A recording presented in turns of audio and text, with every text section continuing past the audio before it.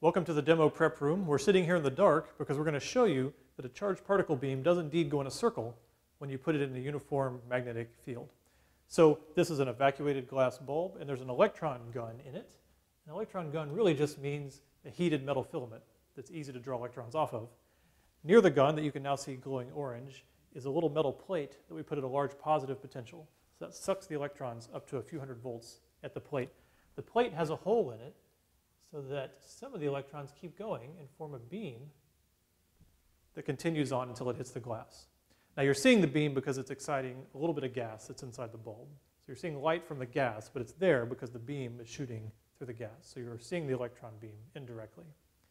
Now we know that if we bring a magnet nearby, it'll deflect the beam. So here's my north-south bar magnet, and sure enough, one pole pushes it up, another pole shoots it down. If I bring it in and do these kinds of things, you can do all kinds of crazy patterns with the beam if you bring in a strong concentrated magnetic field.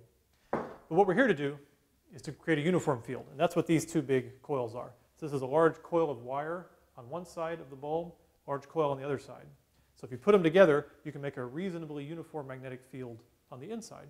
So this power supply is going to increase the current in these coils, and we'll see what pattern the electron beam takes. So here we're going to start turning it up, and you can see it's starting to curve more and more. And right now it looks like it wants to make a circle, but the radius is too big. It doesn't fit in the bulb.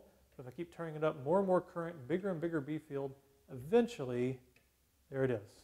It makes a circle perfect circular motion going right back to where it started. And if I turn the magnetic field back down, back down to zero, straight again. So there's direct visualization of the circular motion of charge in a magnetic field.